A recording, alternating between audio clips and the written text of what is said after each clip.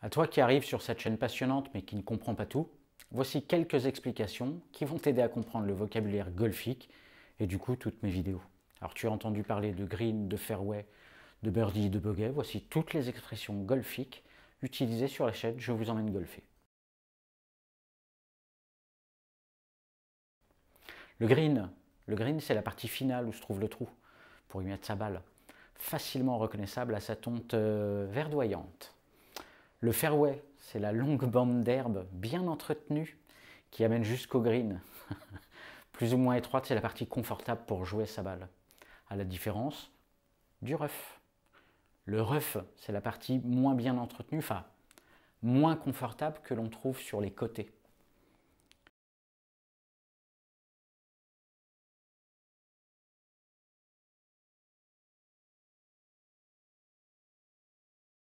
Maintenant, les expressions utilisées au golf. Le pitch, le pitch est utilisé dans deux cas. Lorsque l'on fait un pitch, c'est-à-dire le trou d'impact arrivé sur un green quand la balle a volé, et le fair play golfique fait que l'on relève son pitch, on répare le trou. Et c'est aussi un club, le pitch. C'est souvent un club qui est utilisé à l'approche du green. Le tee, le tee, c'est le petit accessoire qui permet de faire reposer la balle utilisable uniquement lors d'un départ. C'est d'ailleurs pour cela que l'air de départ s'appelle également un titre départ. Les scores.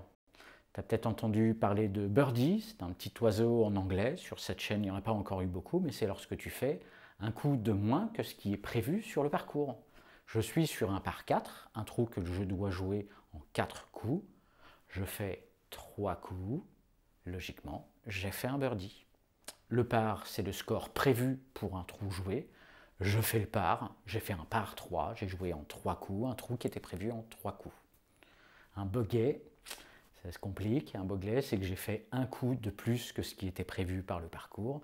Un double bogey, deux coups de plus que ce qui est prévu par le parcours.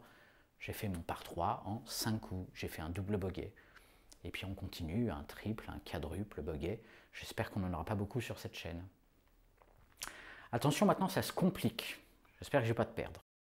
Les formules de jeu, le stroke play, le, le, stroke play, tu comptes tous les coups réalisés sur une partie, c'est le score brut, que tu sois débutant ou professionnel, c'est le nombre de coups que tu joues. Stableford, c'est une formule de jeu prenant en compte ton index. Ça permet de calculer le score en net par rapport à ton niveau. J'explique ça un petit peu plus bas dans la vidéo. Le match play, c'est une bataille en fait contre ton adversaire, ce n'est plus contre le terrain. Celui qui fait le meilleur score sur un trou gagne le trou, gagne un point, et à la fin, on fait la comparaison avec ton adversaire, avec ton partenaire. Scramble, c'est une formule de jeu plutôt ludique à deux joueurs. Chaque joueur joue sa balle et on rejoue le, le second ou les coups suivants à l'emplacement de la meilleure balle. C'est ce que j'ai fait avec Grégoire à Montgriffon quand on a joué. Je vous invite à aller regarder la playlist Mon Griffon. L'index, l'index en fait il s'agit du niveau de jeu de chaque joueur. Un débutant est index 53, il va réaliser à peu près 53 coups de plus que ce qui est prévu par le parcours. Un pro, un index 0, on peut dire que c'est un pro puisqu'il joue 0 coups de plus que le parcours. À titre indicatif, je suis officiellement 29 d'index, je joue 29 coups de plus que le parcours. En réalité, mais il va falloir que je valide mon index lors d'une compétition, j'en joue beaucoup moins, entre 15 et 20 coups.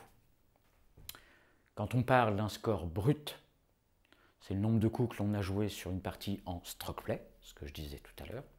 Lorsque l'on joue une partie en net, c'est le score prenant en compte le niveau du joueur. Je ferai une autre vidéo sur comment calculer une carte de score en net parce que là ça va vraiment devenir compliqué et j'ai pas envie de te perdre.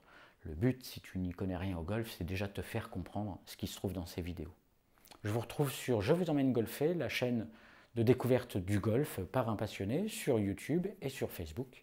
Et n'hésite pas à partager et à liker cette vidéo. A plus